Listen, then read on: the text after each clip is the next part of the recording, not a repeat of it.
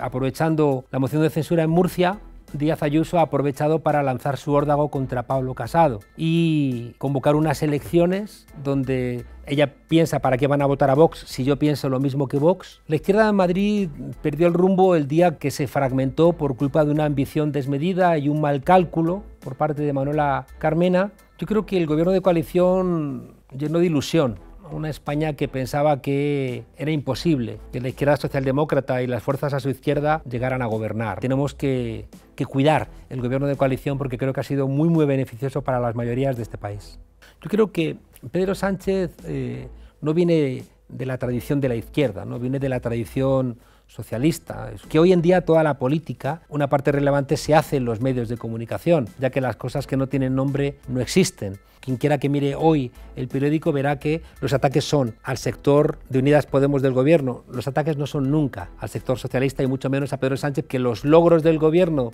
se los apunta al gobierno y por tanto el Partido Socialista con Pedro Sánchez, mientras que cualquier tipo de fracaso se va a achacar a Unidas Podemos. Creo que no es posible, factible pensar que se vaya a romper, el gobierno, porque no le interesa ni a Pedro Sánchez ni le interesa a Unidas Podemos. Creo que ahora mismo en los gobiernos de la Unión Europea no sería posible que gobernase, lo vimos en Grecia, una fuerza política a la izquierda de la socialdemocracia, porque le hemos entregado nuestras democracias al capitalismo financiero internacional. Es normal que Unidas Podemos desconfíe profundamente de unos medios de comunicación que no solamente para España, sino para la mirada europea, son de los peores medios que tenemos en el mundo occidental. Y creo que va a haber una presión por parte de los grandes sectores financieros, por las nuevas plataformas digitales, por este capitalismo global para aprovechar la pandemia para dar una vuelta de tuerca más al desmantelamiento de los derechos civiles, políticos y sociales, sobre todo laborales.